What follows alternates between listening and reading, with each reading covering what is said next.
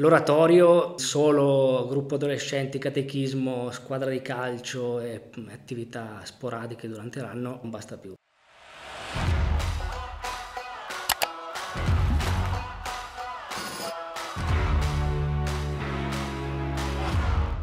«26 gennaio 2022. Grazie a voi ci sarà la possibilità di fare qualcosa insieme, per noi sarebbe bello. E ci sarà la possibilità, molto volentieri. 23 settembre 2022. Ciao a tutti ragazzi e benvenuti in questo numero del cantiere. Oggi ci troviamo in un cantiere molto particolare e ringraziamo subito l'ospitalità dell'oratorio di Chiuduno. Scopriamo subito per quale motivo ci troviamo qui. Santo Aiello è uno degli adulti responsabili della Ragnatela, dell'oratorio di Chiuduno, un gruppo di adolescenti e adulti che recupera materiale di riciclo per costruire oggetti al servizio della comunità. Il gruppo nasce nel 2016 grazie alla disponibilità di qualche falegname e di volontari carichi di energia. L'idea è proporre agli adolescenti di mettersi in gioco dal punto di vista pratico per condividere lavori, obiettivi ed esperienze. Poche parole, ma tanti messaggi trasmessi tra un lavoro e l'altro.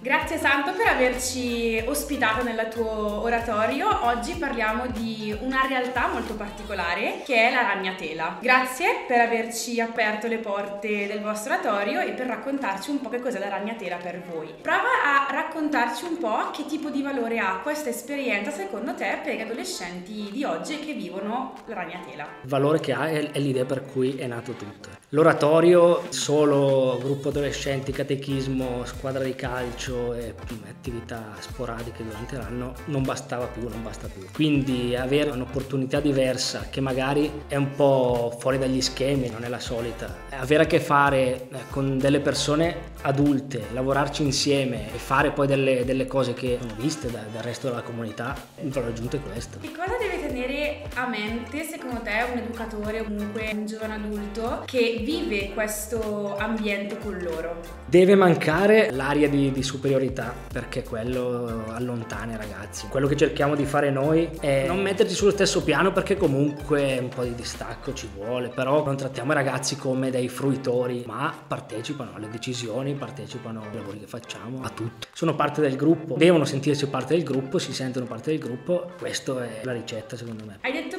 prima che eh, i ragazzi che vivono la, la ragnatela sono comunque ragazzi di oratorio. Sì.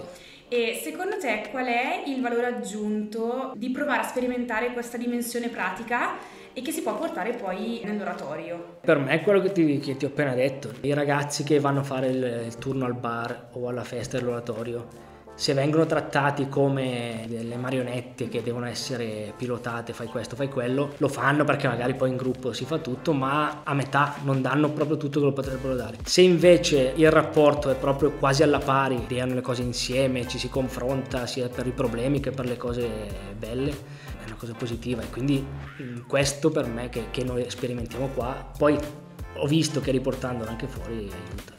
Secondo te che cosa si porta a casa un adolescente che prova a vivere l'esperienza della ragnatela? E se riesci a riassumerlo con tre parole chiave. Mm amicizia che si crea anche con noi che magari avremmo avuto a che fare con loro se per altri motivi invece qua si crea un bel rapporto. Responsabilità perché facendo le cose in prima persona sono coinvolti in quello che fanno quindi responsabili del lavoro che stanno facendo. E poi passione perché, eh, perché quella serve se no non vieni qua la sera a martellare o a avvitare. Prima mentre chiacchieravamo dicevi che la ragnatela è nata nel 2016. C'è mai stato un ragazzo, un adolescente che ha vissuto la ragnatela e vi ha riportato la sua esperienza, soprattutto quello che magari gli è rimasto come insegnamento? non in modo esplicito, mi viene in mente quei 3-4 ragazzi che, che, erano un po' più affezionati, non sono venuti a dirmi guarda bello perché lì ho fatto questo, questo e quest'altro. Però si vede che quando ti incontri per strada, anche dopo tempo che non ti vedi, c'è quel, quell'affetto che, che, c'era, che è rimasto. Quello per me è un, è un, bel valore anche quello. Grazie mille per averci raccontato il mondo che vivi, della ragnatela. Speriamo che sempre più ragazzi si possano appassionare a questo mondo e provare a mettere un po' le mani in pasta, anche in una dimensione dimensione diversa da quella dell'oratorio, però pur sempre sotto quel tetto lì. Ti ringrazio molto anche per averci ospitato in questo posto meraviglioso. Grazie a voi. Poi non dimenticatevi di iscrivervi alla newsletter per non perdere i prossimi contenuti. Ciao!